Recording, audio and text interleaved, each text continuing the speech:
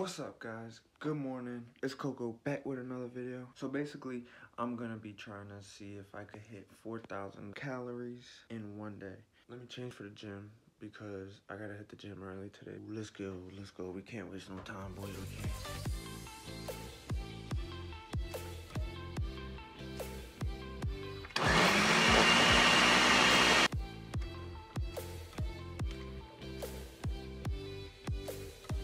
So this first meal, believe it or not, comes out to 1,350 calories. The protein powder that I have right now alone is 1,250 calories. And I added fruit and the almond milk. So that's a lot of calories to start off the bat. So we're already at a good place with this milkshake. So yeah, now we just gotta get this down and then we'll hit the gym and we'll go on with our eating day.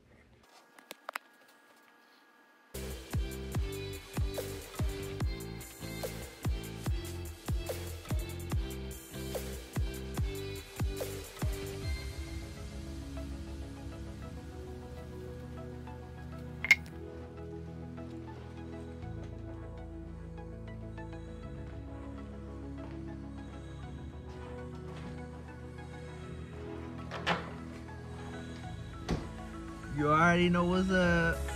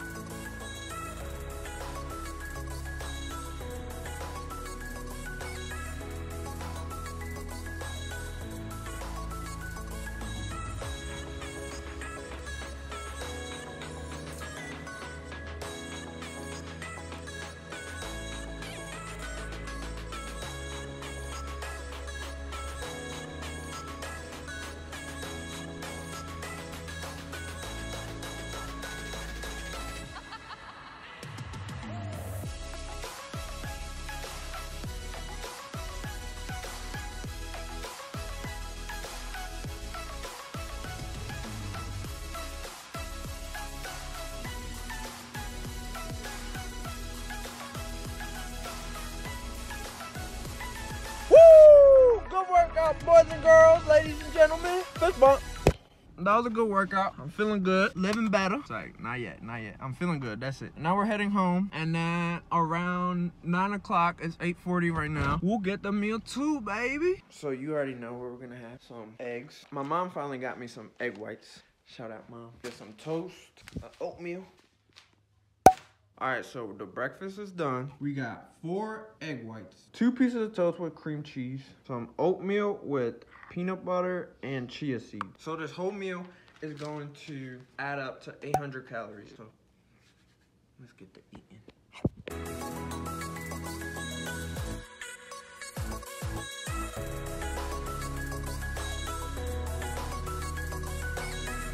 Meal number two is done. And currently we're sitting about like 2,100 calories. So now I guess we just wait for meal number three. I don't know what meal number three is gonna be, so we'll see. Okay, so let's talk about some facts. So today I'm off of work, and usually when I'm at work, I might go to like a little dirtier type of diet. But when I'm home, I'll go for a more cleaner type of diet. You know, I'm not the best cook, so I'll just try to cook whatever I can. The only thing I really know how to cook is some eggs, oatmeal, chicken, rice. So I keep it super basic. You just gotta get creative with the types of cooking that you do. So my meal three now is gonna be tuna. I'm gonna put two little cans of tuna. I'm gonna mix it up with some corn. We're gonna have two tuna sandwiches.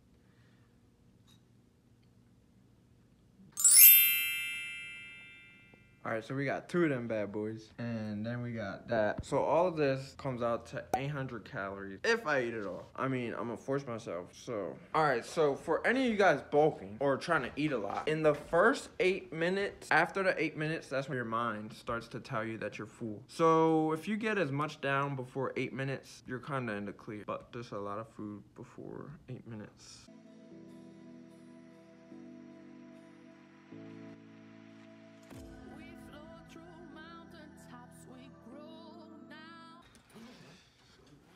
So I finished it. I didn't think I was gonna finish it, but I did. So that's 600 calories down the hatch. And right now, we're at 2,750 calories. All right, so I'm going in for a snack right now, and I'm having a rice pudding, then a granola bar. So I'm about to eat that up. Okay, now it's time for dinner. My mama, great cook, superb cook. She made some rice, some meat, So I've calculated all the calories, and that meal has 888 calories. So after I finish that, that'll put me at 3,938 calories for the day. So I'll only need like a few more calories after that. So I'm about to eat this. Alright guys, I'm here with my last and final meal. This meal is going to be taking me over the 4,000 calorie mark. It's actually going to take me to the 4,298 calorie mark. So this meal came out to 360 calories. This is just a little snack, some yogurt, granola, some blueberries. I just want to let you guys know I don't always eat like this. It's always on and off. Whenever I'm home, I try to stick to a healthier, clean diet. Whenever I have work, I tend to go a little bit to the dirtier side. So yeah, if you guys are out there trying to surplus on them calories, it's alright if you go a little bit to the dirtier side. It's alright if you stick healthy, but healthier I feel is a little more demanding because you gotta cook for yourself. You gotta cook more. You gotta, you know. But the dirtier side is a little easier way. It's a little cheat sheet. I feel it's all about that dedication, discipline, consistency with working out. Just keep those in mind, and you guys will reach your goals in no time. So yeah, guys, maybe soon I'll do a 10,000 calorie challenge because this one was a little bit easy. That's the end of the video. I hope you guys liked it. Make sure you hit the like button. Make sure you subscribe. Peace out. Go hustle. But before I leave, I want to say the message of the day. The message of the day is if you have a goal, make sure you double down on how hard you could work at it. Make sure you double down on how much time you spend on it. Because although you think you're working hard right now, someone is out there working 10 times harder as you. Keep that in mind. Double down twice as hard as you're working on it right now.